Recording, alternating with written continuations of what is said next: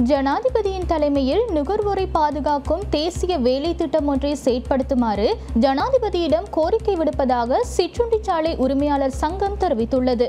மேலும் எதிர்வரும் திங்கட்கிழமை முதல் உணவுப் பொதிகள் மற்றும் தேநீரின் விலைகள் குறைக்கப்பட உள்ளதாகவும் சங்கத்தின் தலைவர் அசில சம்பத் தெரிவித்துள்ளார்.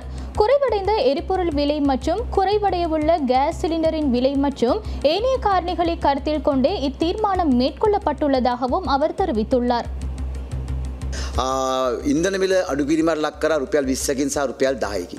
ඒවගේම ගෑස් මිල දැන් සෞන්ද දිනේදී රුපියල් දෙසීකට ආසරවානයක් අඩු කරනවා කියලා ප්‍රකාශයට පත්. கடந்த அரசாங்கத்தின் போது அத்தியாவசிய பொருட்கள் சேவைகள் என அனைத்தினதும் விலைகள் அதிகரிக்கப்பட்டதாகவும் இந்நிலையில் தமது தொழிலை பாதுகாப்பதற்காக உணவுப் பொருட்களின் விலைகள் அதிகரிக்கப்பட்டதாகவும் சிற்றுண்டிச்சாலை உரிமையாளர்கள் சங்கத்தின் தலைவர் அசேல சம்பத் தெரிவித்துள்ளார் மேலும் கேஸ் நெருக்கடி காரணமாக பல உணவகங்கள் மூடப்பட்டிருந்ததாகவும் இருப்பினும் தற்போதைய நிலையில் கேஸ் விநியோகம் சீராக நடைபெறுவதால் உணவகங்களை நடத்திச் செல்லக்கூடியதாக அமைந்துள்ளதாகவும் அவர் மேலும் தெரிவித்துள்ளார். அதேபோன்று எரிபொருள் விலைகள் அண்மையில் இருபது ரூபாவாலும் பத்து ரூபாவாலும் குறைக்கப்பட்டதாகவும் எதிர்வரும் திங்கள் முதல் கேஸ் சிலிண்டரின் விலை சுமார் இருநூறு ரூபாவால் குறைக்கப்பட உள்ளதாகவும் சுட்டிக்காட்டினார். மேலும் புறக்கோட்டை மொத்த விற்பனையாளர்களால் அத்தியாவசிய உணவுப் பொருட்களின் விலைகள் குறைக்கப்பட்டுள்ளதாக அறிவிக்கப்பட்டுள்ளதாகவும் தெரிவித்தார். இதன் காரணமாக திங்கள் முதல் பிளேன் டீ தேநீர் உட்பட உணவுப் பொதிகளின் விலைகளை குறைக்க உள்ளதாகவும் அசீல சம்பத் மேலும் தெரிவித்துள்ளார். இது நூற்றுக்கு பத்து வீதமா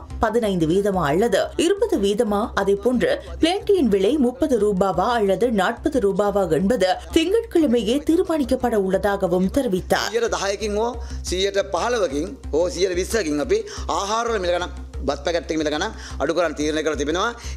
ஏனெனில் மக்களுக்கு கிடைத்துள்ள சலுகைகள் நாடளாவிய ரீதியில் இன்னும் சரியாக போய் சேரவில்லை என்பதாலேயே திங்கள் இது குறித்து தீர்மானிக்கப்பட உள்ளதாகவும் அவர் மேலும் தெரிவித்துள்ளார். அதே போன்று கொழும்பு புறக்கோட்டையில் தற்போது இருநூற்று ஐம்பது ரூபாவுக்கு விற்பனையாகும் சீனியை தயவு செய்து கிராம மட்டத்திலும் குறைந்த விலையில் சென்றடைவதற்கு அரசாங்கம் நடவடிக்கை எடுக்க வேண்டும் என்றும் கேட்டுக்கொண்டார். மேலும் இவ்வாறான கருப்பு சந்தைகள் காரணமாகவே கடந்த அரசாங்கங்களும் அசௌகரியங்களை சந்தித்ததாக சந்தித்ததாகவும் ஆட்சியை விட்டு வெளியேற வேண்டிய நிலைக்கு தள்ளப்பட்டதாகவும் சுட்டிக்காட்டினார். எனவே ஜனாதிபதியின் தலைமையில் நுகர்வோரை பாதுகாக்கும் தேசிய வேலை திட்டம் ஒன்றை செயற்படுத்துமாறு ஜனாதிபதியிடம் கோரிக்கை விடுப்பதாகவும் அதற்கு தாம் ஒத்துழைப்பு வழங்க உள்ளதாகவும் அவர் மேலும் தெரிவித்துள்ளார். அதேபோன்று தற்போது கொழும்பில் பொருட்கள் விலைகள் குறைவடைந்துள்ளதாகவும் இதனை கிராமங்களிலும் நகரங்களிலும் கிடைக்கச் செய்தால் பெட்டி கடைகளிலும் உணவகங்களிலும் தமது விலைகளை செயற்படுத்த முடியும் என்றும் கோரிக்கை விடுத்துள்ளார். இந்நிலையில் சிறியோர் முதல் பெரியோர் வயோதிபர் மற்றும் நோயாளர்கள் என அனைவரும் தமது பசியை போக்கிக் கொள்ளும்